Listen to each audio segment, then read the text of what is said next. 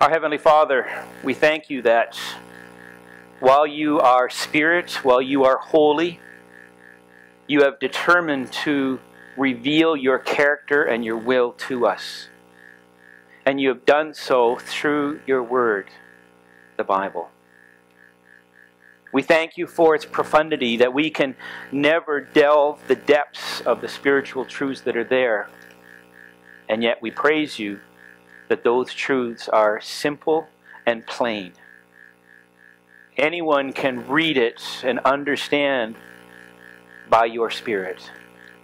So as we come to it this morning, we ask, Holy Spirit, that you would just guide and direct in the knowledge of the holiness of God, and which you would desire of us this morning. In Christ's precious name, Amen.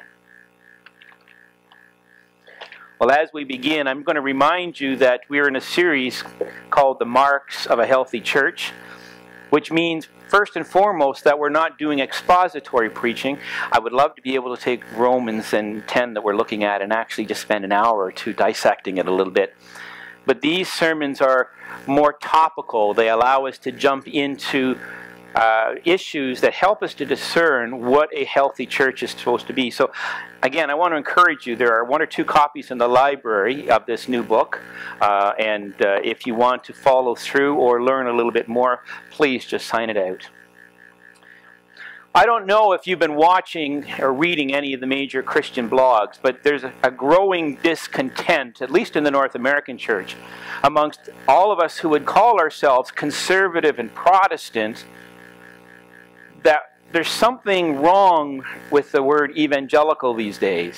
It's a term that's been around for centuries, but it's just, it's got such a breadth to it and a lot of, uh, of wrong or bad meaning to it. it. The word first came up around 300 years ago. It came apart as the first great awakening when we had men like Whitefield and Wesley. They were preaching to tens of thousands of people in the public and God was doing a wonderful thing. He brought revival. And not just a small revival where it would be one church or a few people within the church. There are documented accounts where whole towns, in a matter of a week or two, became Christian. The bars were closed and people were out of jobs. But they praised the Lord and went to church. So there was a real movement of God and a conviction of sin and an understanding that we need to make ourselves committed to Christ. But since then, the word evangelical or evangelicalism has again grown to mean other things. It's much broader. Now, if you talk to most of us or, or any good Christian, they will probably tell you that it is a good word. It, it, it has a spiritual connotation to it that says we believe people must be born again. You can't just simply say, I want to follow Christ or I think he's a great guy, I'm going to go to church. We can't just align ourselves. We have to be connected vitally with him, and we talk about the born again experience. And, and there are four spiritual truths. And we talk about evangelicalism as a whole. One is that we believe that this is the authoritative Word of God, it has everything we need for life here and now. We also believe that Jesus' death on the cross is the only sacrifice that we need to remove the penalty of sin. It is the only thing that make, make us right with God. We also believe that it is only those who trust in Jesus Christ as their personal Lord and Savior that they will know eternal life. So it's important for us, this number fourth, or the fourth one, is that we must be committed to personal evangelism. This is an issue of spiritual life or spiritual death. This is an issue of heaven, of hell. And we are commended to go forth and to preach the gospel. But again, part of the problem in our culture today is that this word evangelical has become a catchword, a catchphrase. It can mean anyone who has been grown up in a, in a church or have gone to church as a, as a little uh, child.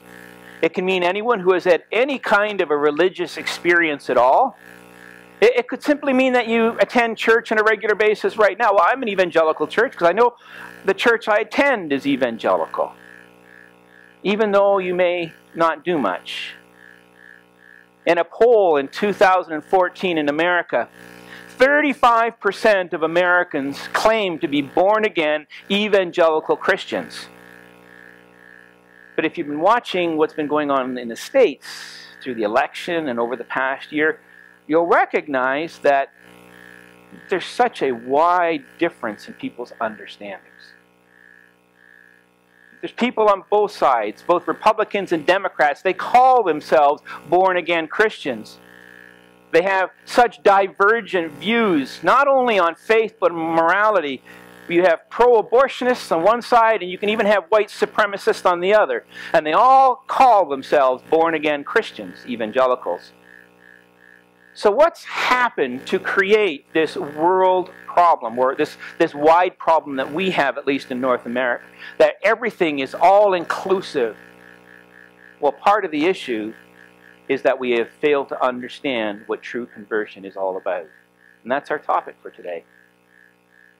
So I don't know if, if you've been following these the posts or not, but about eight years ago, some key religious leaders and pastors in North America noticed a huge shift within the church itself. It's a generational thing. It is a huge cultural shift. And it's started by redefining some of the basic terms that we would take for granted in the church. They use the same religious language, but the problem is, as they speak, they will use different definitions or put nuances on them. So they, they will talk about a commitment to Jesus Christ as Lord and Savior. They will talk about the authority of the Word of God, but their understanding fundamentally underneath is different from what it has been for generations, for centuries. Words like heaven, hell, sin, judgment, the church have all of these new meanings that change radically what the Word of God says. And in reworking these terms, one of the key doctrines that has been forever changed, at least right now in our culture, is this doctrine of conversion. So, what is conversion? And why is it necessary? If you were to go to a dictionary right now and you were to look up spiritual conversion, it would say something like this You're changing commitments, you're adapting a new belief structure, you are uh, abandoning one faith and picking up another. So, if I were to tell you this afternoon that I have converted to Hinduism, I've abandoned my former Christian self, I'm not a pastor anymore, you would understand that I have embraced a new way of life. And that way of life has religious beliefs and religious practices. I probably wouldn't eat many, much meat. I'd have a mark on my forehead to demonstrate the sign of my faith. I would practice pujas or religious ceremonies with incense. I'd go to rituals and festivals. All of this would be a way of life as well as uh, uh, an outworking of my belief. But this is not what biblical conversion is all about. And this is where many churches go seriously wrong. Biblical conversion isn't simply deciding to align myself with a particular group, with a particular faith, with a particular church. It's not simply changing my perspective or the way I think. It's not even saying that I'm going to follow Jesus right now. Why? Because this kind of conversion has no power to fundamentally change the sinful nature that we have. It has no power to deal with sin. If we're simply talking about my decision one day to become a Buddhist, become a Muslim, it has no power to change my inherent sinful person. And that's what the Bible teaches, doesn't it? We have a fundamental problem called sin. All peoples everywhere are sinners. There is no one righteous, no, not even one. All have fallen short of the glory of God. We are sinners first and foremost because when Adam and Eve sinned, when they rebelled, they plunged the whole human race into sin. Humanity was fatally wounded. every aspect of our nature is infected by sin. And we actively choose to sin continually. And because we're sinners, we're under the wrath of God. Every aspect of us, our wills, our emotion, our thoughts, our desires, are affected, are imprisoned by sin. And what's worse is that we're unable to do anything about it in and of ourselves. We cannot change our standing before God. We cannot save ourselves. Now, add to this the problem of who the Bible says God is, and our situation goes from bad to worse. Because the Word of God tells us that He is perfectly holy and righteous in all ways. And this creates the issue that there is no way that He will allow sinful people into His presence. He's also our Creator God. He made us to bear His image. And so, in that, He has called us to be holy as He is holy, but we're unable to do that because of this sinful nature. So you put the two together, we've got our problem with sin and the nature of God's holiness, and it means that we are a people in desperate need of God to reconcile, not simply to say, I'm going to go to that church or I'm going to be a follower now. There's no way that we can restore our rightful place of worship and service for God unless our sins are paid for. And we can't do that. But praise the Lord, this is why God the Father sent his Son, Jesus Christ, to live a perfect life and then die in our place as our ransom. He paid the penalty for our sin.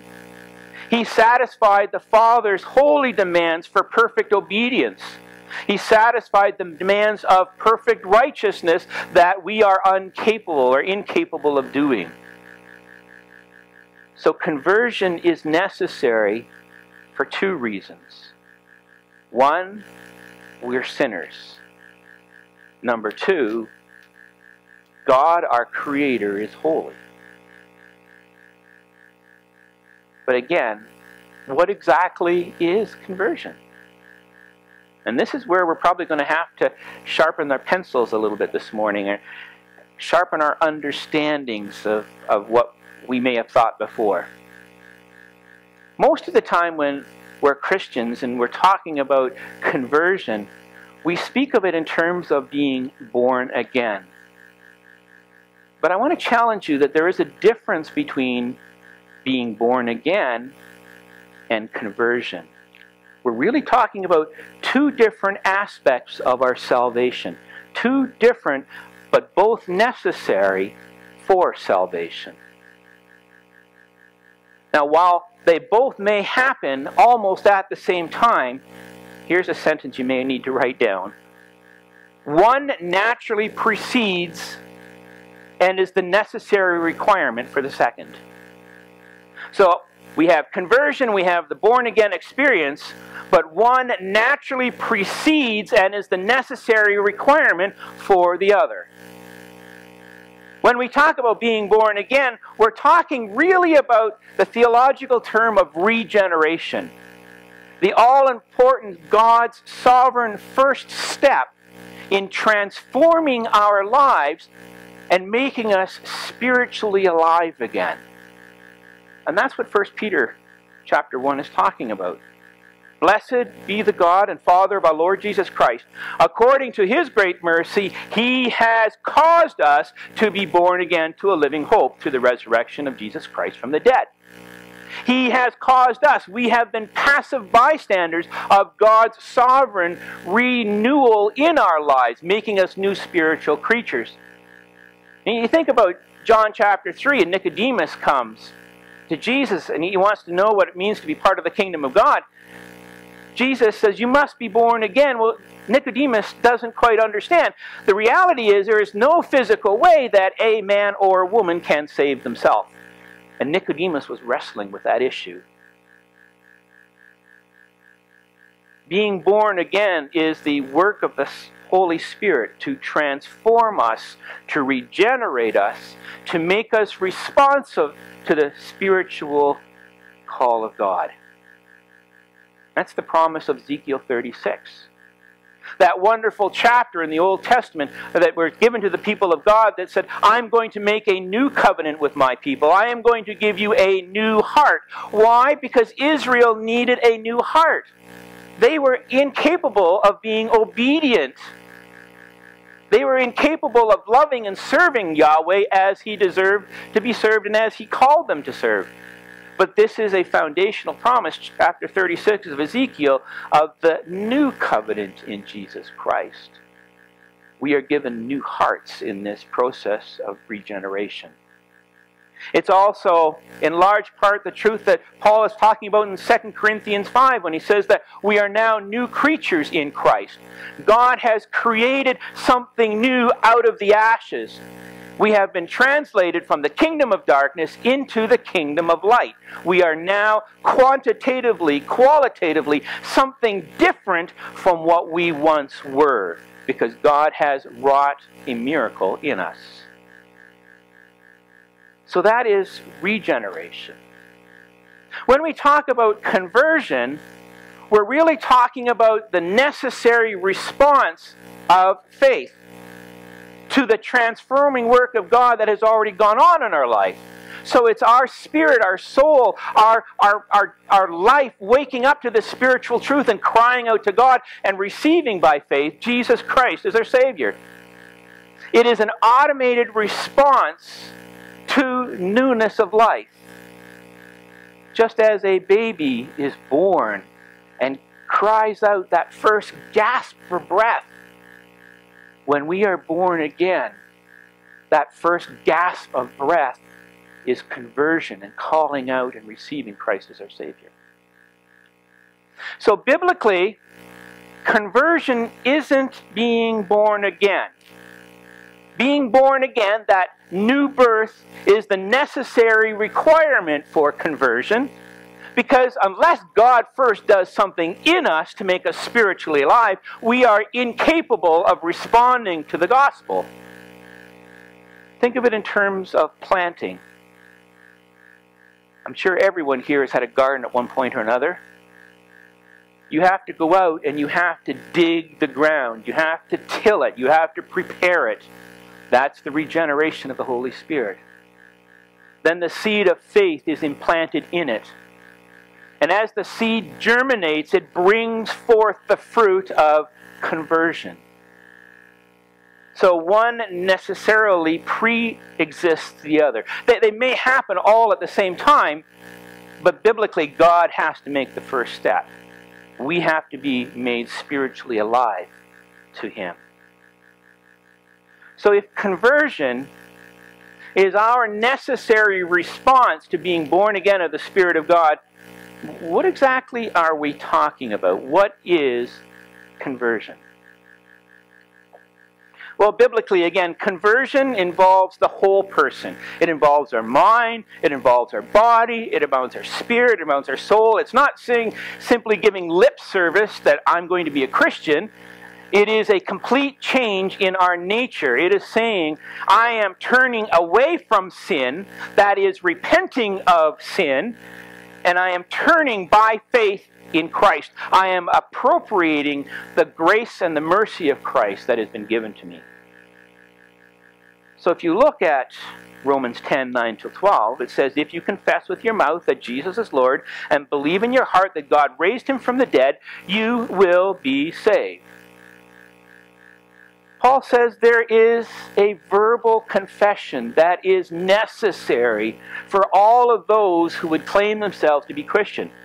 We have to say, Jesus is our Lord in every aspect of our life. It means that we must renounce all other allegiances in this world whether they literally be of the world or if they are found within ourselves, our families, whatever it may be, it means that I am claiming the lordship of Christ in my life in all areas. I am renouncing my former way of living. In recognizing Christ's lordship, you're saying that you no longer are your own person, your own man or your own woman, that Jesus died for you and that his death paid the penalty for your sin. You now belong to him. Paul also says that there must be a turning to Christ, which is trusting him wholeheartedly without reservation in his death and his resurrection. You must place your hands, or you place your life into the hands of Christ, believing that his resurrection from the grave means that we have newness of life here and now and the promise of eternal life when we die or Christ comes. We are no longer slaves to sin. So conversion is a 180 degree turn.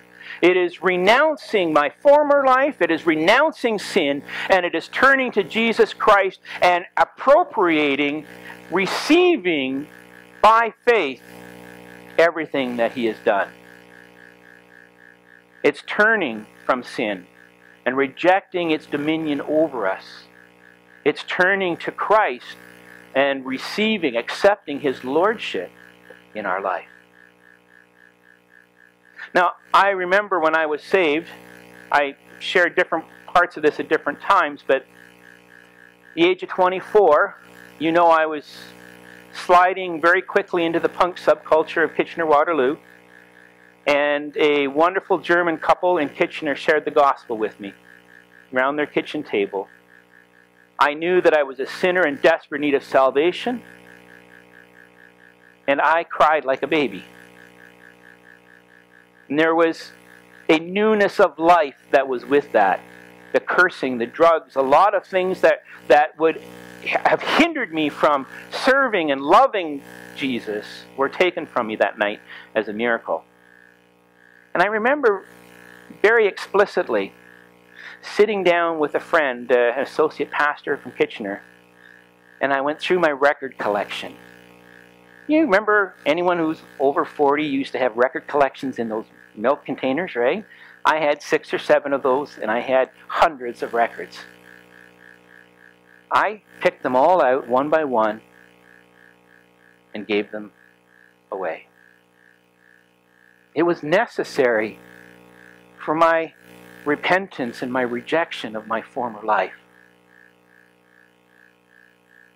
I also remember someone at the church saying, Well, you got a wonderful testimony. Why don't you go down to those bars where everything's so seedy in Kitchener and, and start sharing the gospel with people? You've got your unique way to go in. They, they recognize you. You can play a game of pool with them. You can have a Coke, and they don't know there's nothing in there. And you can share the gospel. And I said, I have been saved from that life. Someone else may be able to go in and do that. I have and rescind that so easily entangles me. I now serve Christ. And praise the Lord, I never look back. But that's exactly what we must do. We must reject our sin and our former lifestyle, repent of that, and we must cling to Jesus Christ as the only means of our salvation. So faith and repentance are both necessary. They're two sides of the same coin. We must repent of sin, and we must put our faith in Jesus Christ. So as we look at Romans 10, I hope you notice that it is in the form of a wonderful promise. We can take great encouragement. First and foremost, it says, All who confess and believe, all who repent and place their faith in Christ will be saved. There is no one who is so hardened in their heart that God cannot make alive, that cannot make their voice to cry out to Jesus, Save me, Lord. It is a wonderful promise for any of us who have family who do not know Jesus Christ. Maybe they've attended church, as mine have, for years, and yet they have not claimed themselves to be Christian because they know what it means. They have heard it from me. They must be born again and they must conf- uh, confess total loyalty to Christ. They must reject sin. They're wonderful people, but they're not saved. It's a wonderful promise that salvation is the work of the Holy Spirit, the sovereign work of God, and that the forgiveness of sins is there for all.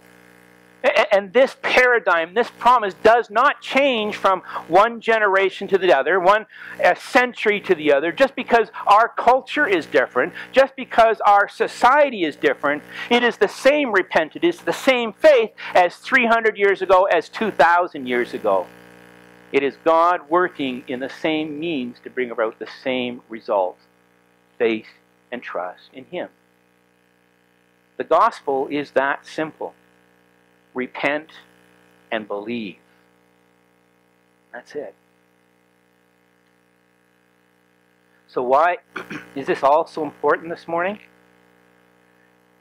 Because we live in North America, and in our Christianese culture, we have muddied the waters so much that these terms now don't have the same biblical weight that they used to.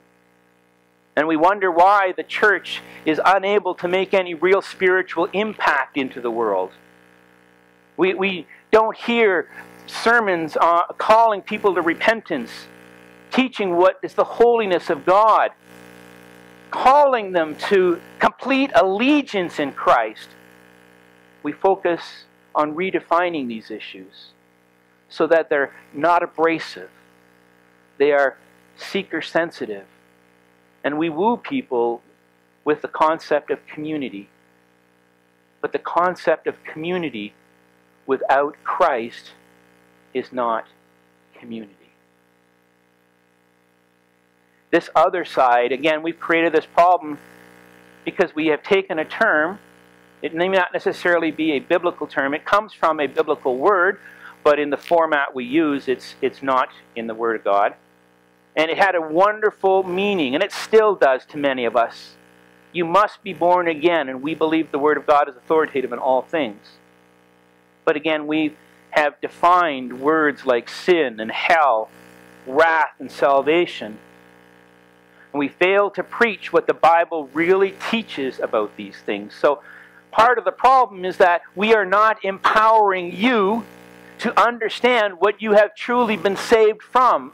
Because once you know what you've saved from, we are compelled to go out and to share that good news. And you are empowered with a word that is not of your own, it is of God, that He will save. And what a wonderful promise that is again. But we've created a church, and there's many consequences. How do you baptize people? How do you bring them into membership? Too many churches do not have the doctrine of conversion at its very heart. So you get a church that is supposed to be a church, a body of holy people, not perfect, but holy in Christ, seeking after righteousness. But we have men and women who are anything but holy, leaders who are anything but holy. We end up with a church that professes to know Jesus Christ, but they're really unable to know the very will of God because they have no understanding of the power of God in their life. So we fail on many sides. All because we have not called people to conversion, to repent, and to receive Christ as their Lord and Savior. Part of the problem is over the centuries, we have gotten into a process of conversion without redemption.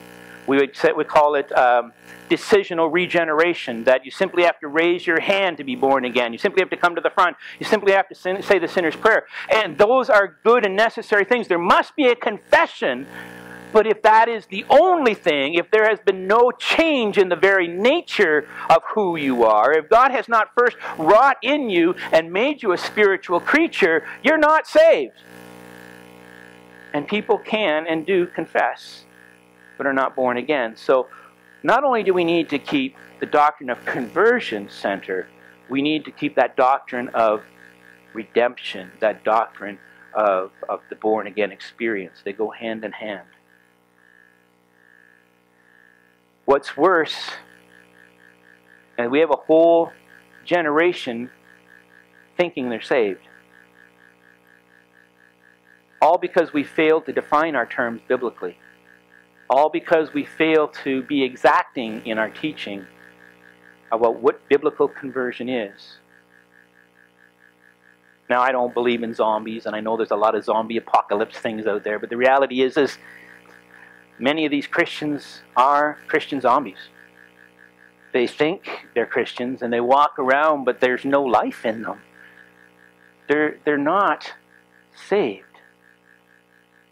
We become a church whose task is neutered. We are unable to witness to the glory of God.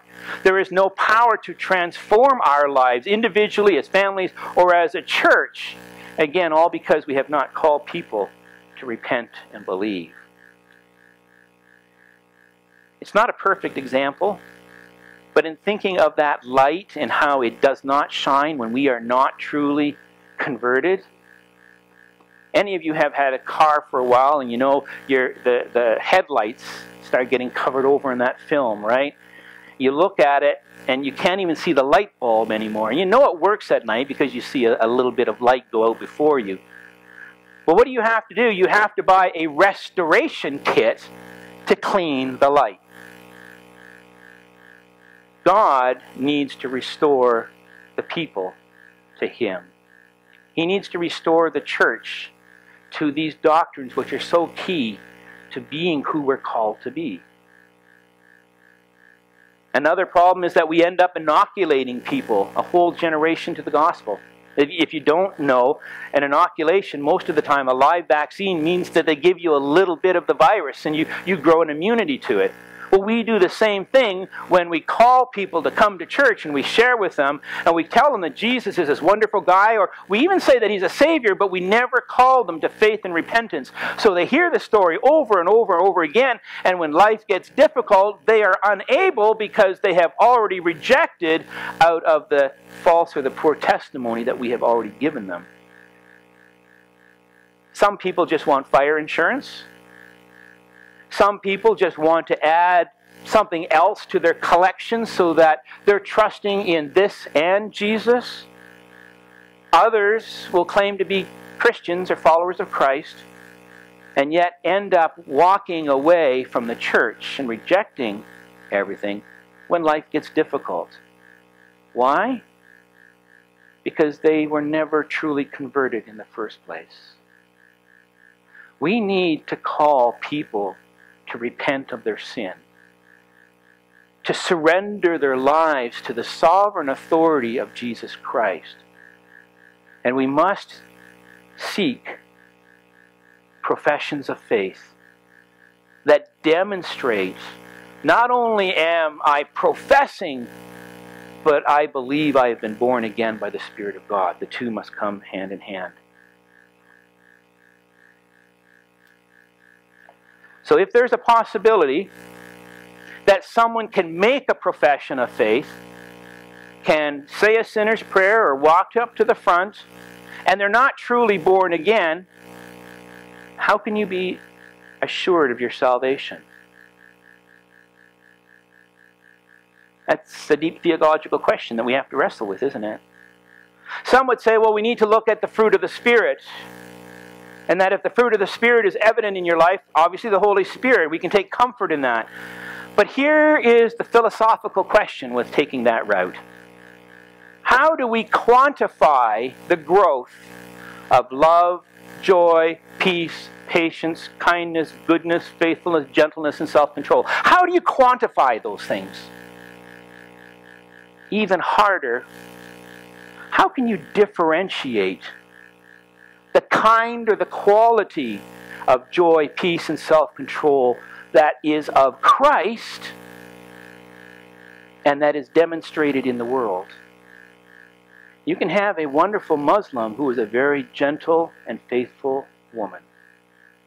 How do you quantify or qualify the difference in their gentleness and perseverance as opposed to yours in Christ? You can't. How do I know that my gentleness is not simply a result that God had made me this way? I, I don't like to argue too much. I kind of shy away. How do I know it's not simply going through the school of hard knocks? I've just learned to take it on the chin and. How do I know that this gentleness is of the same kind and quality as Christ's? I can't. Ultimately, our only assurance comes as a result of God's sovereign work of regeneration in our life. Let me say that again. Ultimately, our assurance of salvation comes only as a result of God's sovereign work of regeneration. Because we have repented and called unto Christ as our Lord and Savior, our conversion stands as a signpost. It helps us to remember that day when we made a commitment. But even then, in and of itself, it may be hollow if there is not the deeper reality that God has first worked in us to make us a new creature in Christ. The only real assurance we have of our salvation is this that we wrestle with sin and we grow in our godliness. The only assurance we have is based on our conversion. I once re- renounced that way of life. I renounced sin. I clung to Christ as my Lord and Savior. And in this difficult time, I choose to walk forward in that same faith. It's a growing in humbleness before the Lord and recognition that I, am a sinner. And as I get older, I recognize how much more sin still governs me. And so I come to the Lord seeking His help. It, it, it's a recognition that as I come to difficult times, I'm seeking others to help me make those right decisions. And those decisions are not the ones that I would naturally make they are against my first will, my, my first desire, because they are the ones that fulfill the glory of Christ and not me first. So there must be this wrestling that I'm, I'm a sinner. I, I'm in daily need of communion with God to move forward in that godliness. So having once definitively left that world behind and clung to Christ, I now struggle to maintain that walk forward until He calls me again. That is our ultimate and only assurance of salvation. And that's a struggle because we have a whole generation who does not want to just struggle with sin, who doesn't understand that their wrestling with holiness is the only assurance they have of their salvation.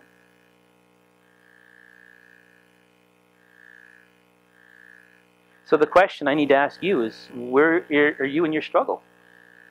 And it, it may not simply be, well, I didn't want to get up this morning and come to church. I didn't feel well. Those are real things. I'm talking, when was the last time you were so overwhelmed by your sin that you cried unto God and said, Help me. When was the last time that you made a conscious decision to do what was right and good in the eyes of God according to the Word of God, as opposed to the easy thing? When was the last time that you knew that you were obedient to the Word of God and not your flesh. This should be our daily wrestling, brothers, sisters. This should be our daily calling of encouragement one to another that you are not alone, that we are all in this same predicament. We all need each other for encouragement. So, what does this mean for our life? How should a biblical understanding of conversion impact us personally? Well, I want to just quickly outline five things. It should make us humble. Why? If we're not growing in humbleness, we're not recognizing who we are before a holy God. We're not recognizing the inborn sin that is still there, that, that still draws us, our hearts and our minds, away from the things of God. But it's a great encouragement to know that as we struggle with that and we grow humbly, God is with us.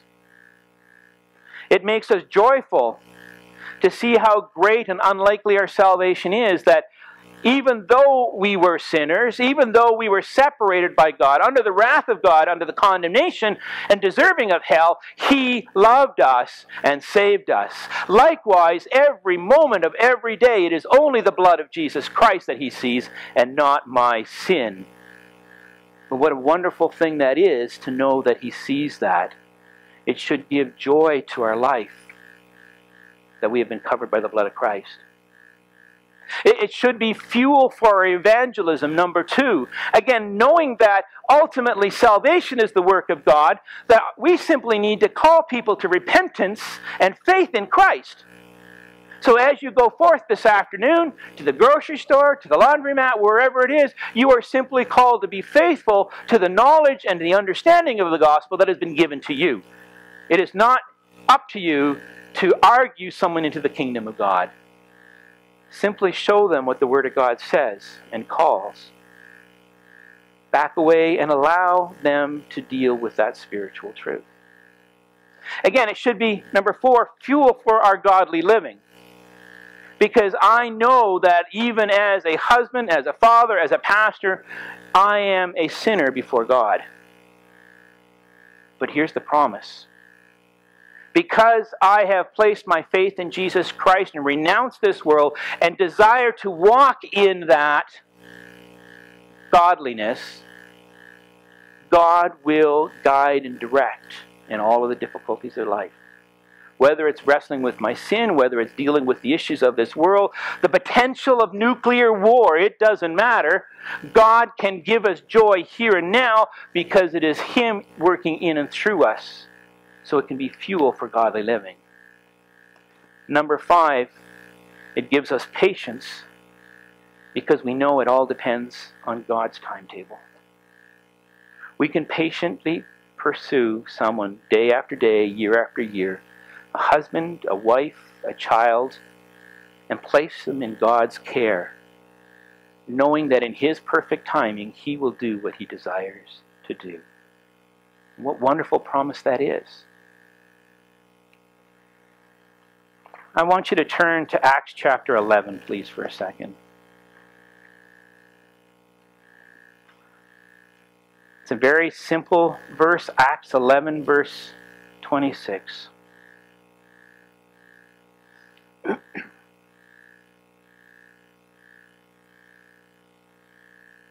Let's start with 25 in the middle. So Barnabas went to Tarsus to look for Saul, and when he had found them, he brought him to Antioch. For a whole year, they met with the church and taught a great many people. And in Antioch, the disciples were first called Christians.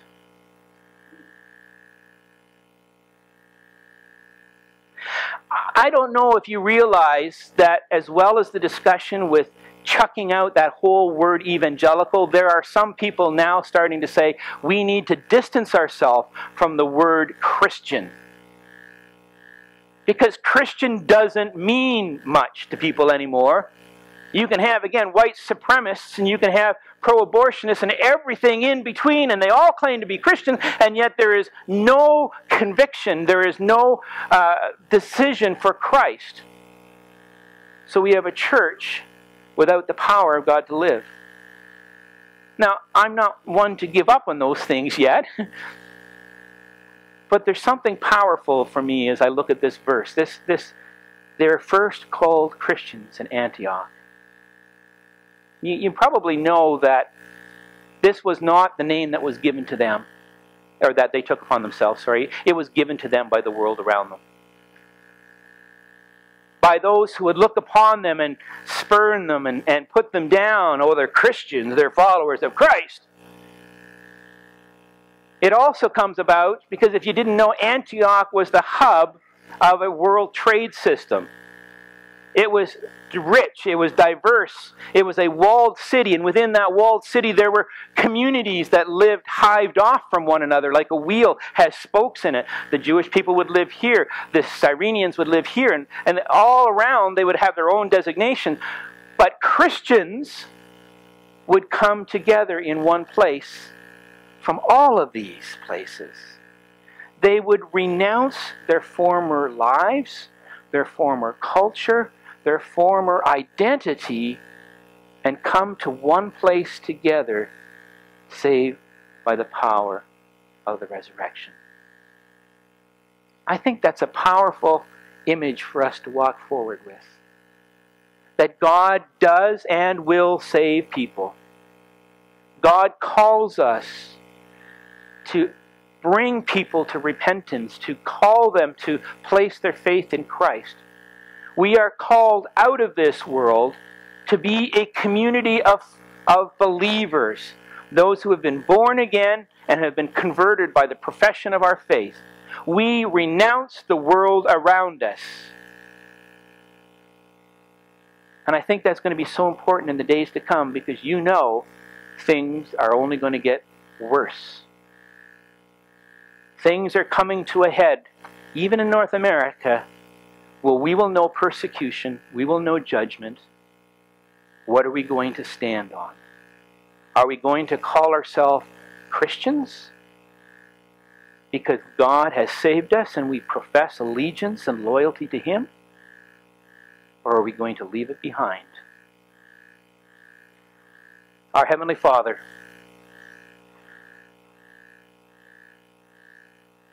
we understand that this is a wonderful high calling, and yet it's so intimidating. It's so easy for us to get things wrong. We ask, Lord God, that you would guide us. And, there is someone who does not know you as Christ, that you would work in their heart. For the rest of us, Lord God, who struggle every day with our sin, help us to find victory in Christ. Help us to come back to the cross and continually cling to call our allegiance to Him alone. We thank you in the precious name of Jesus. Amen.